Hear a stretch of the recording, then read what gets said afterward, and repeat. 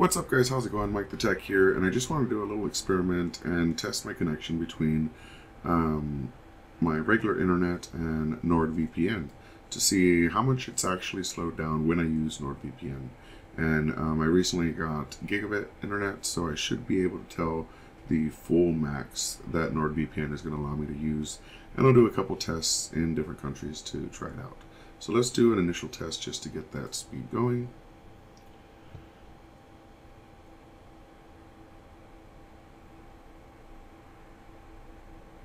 Interesting. I'm not sure what I'm doing right now that's using internet, but uh, normally it's about 900. Let me give that another shot.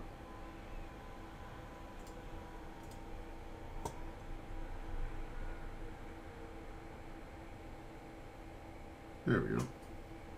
So this should be a good baseline. 9, and then we'll jump in NordVPN and do a quick connect and then we'll try a couple different servers and see what their speeds are.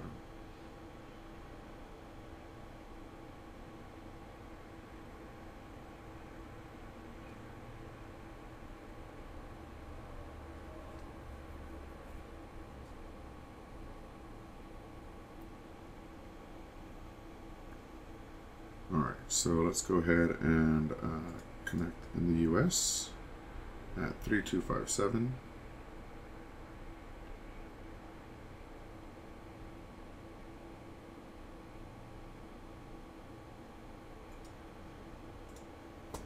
I guess I could use a speed test. Alright, so now we're connected. And let's go ahead and do a speed test. Still very good ping. And we're getting about 300 through NordVPN, 300 megabytes per second through a VPN. That's pretty amazing upload as well. Um, 400. Wow. That's pretty wild. We're going to try it on um, the web version as well, just in case, because that's very, very good. So let's go ahead and go to speed test, and we'll hit go. This is with NordVPN on.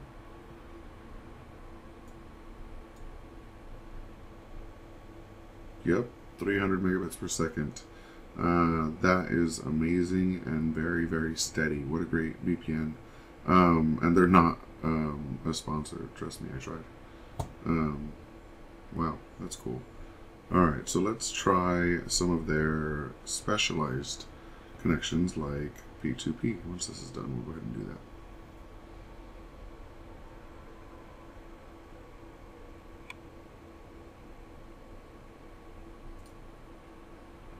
Can get a dedicated IP. Interesting. Let's try that first.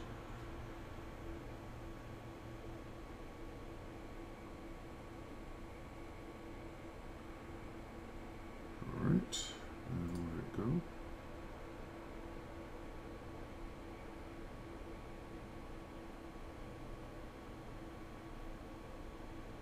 Slightly higher ping. 200. So we're getting really good speeds even with this VPN. Um, I'm going to go ahead and cancel this early just because I want to try some other ones as well. Let's try a double VPN.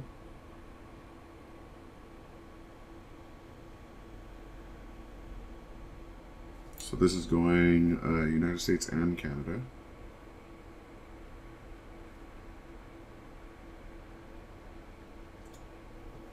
Let's actually restart and get a better server.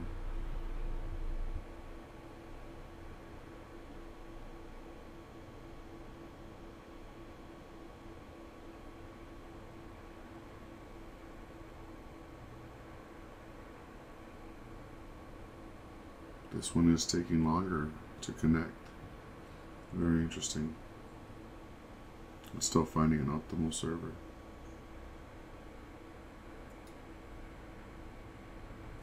I might try refreshing this one, give it another shot. Still finding an optimal server.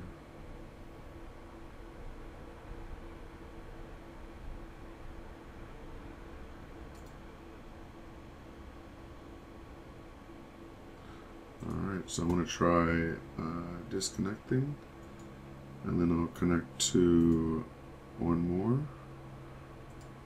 I'm not going to rate that just in case it was a fluke. It's doing another US and Canada one, so we'll go ahead and refresh as soon as it connects. Okay.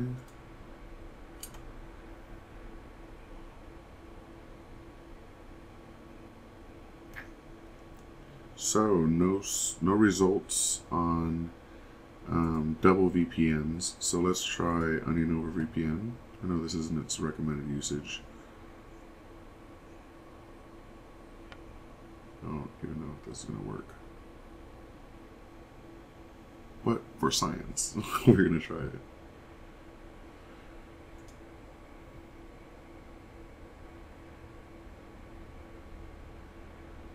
No, because it's not an onion address. Thought it might still let me. Let's see. It actually did find a server, but it's loading, so I'm not sure if that was the last connection or this one.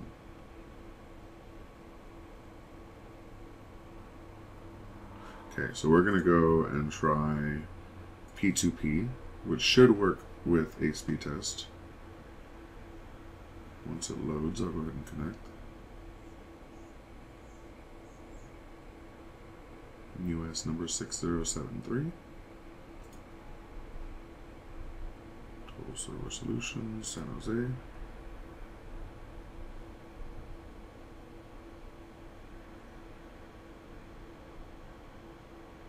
Seven milliseconds ping again, really good. So yeah, if you're using a um, a standard VPN connection a dedicated IP VPN connection or a P2P VPN connection, you should be able to get at least 200 to 300 megabits in and out um, from the VPN. So uh, NordVPN seems to be very, very fast. I honestly assumed it was going to be like, I, I feel dumb for saying this, but like 15 megs a second because that's just my experience with VPNs is usually slow.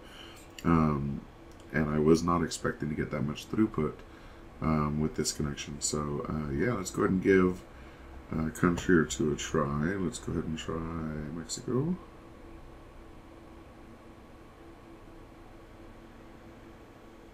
And then we'll try Canada.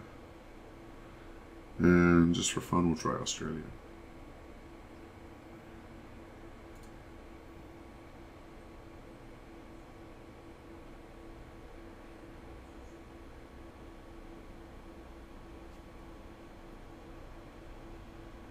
144 milliseconds of ping, but we're getting a solid 60 to 70 megabits per second. Still not bad, especially for web browsing or watching videos. That'll handle most um, HD content just fine.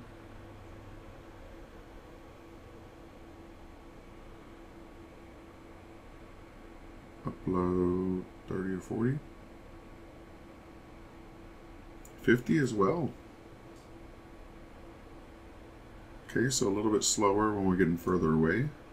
Let's go ahead and give Canada a try.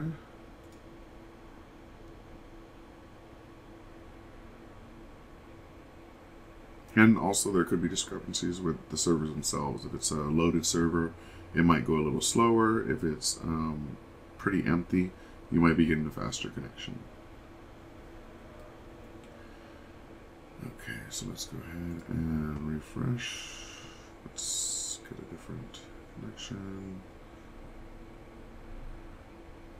Still thinks California is the best place to do the speed test at, even though we're in Canada. 50 milliseconds ping, that's not too bad. And again, we're up to about 300 megabits per second.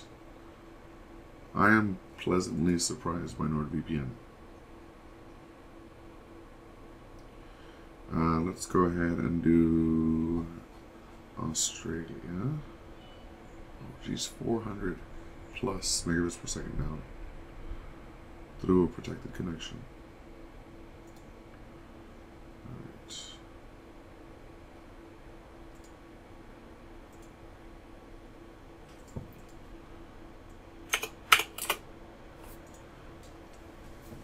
Australia 558.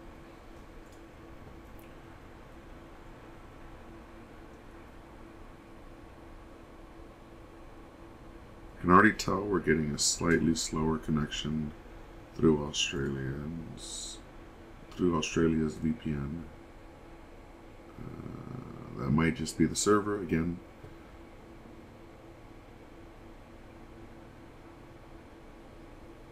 Three hundred and thirty ping. It's pretty high. But the speed is good. I'm still getting over 150, almost 200 megabits per second through uh, Australia, which I'm sure has quite a few nodes it has to get before it gets to the US. So, um, very happy with this uh, setup. I'm gonna go ahead and disconnect.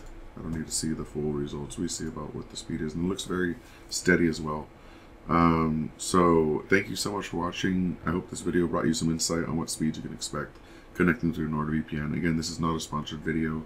Um, I actually emailed them to see if they'd give me a promo code, and they were basically like, "Why would we? You don't get enough views. What? What? How can you help us?" So um, it was a little bit of a letdown, but who cares? For science, we are testing NordVPN's server speeds. Thank you so much for watching, and have a great day. Peace.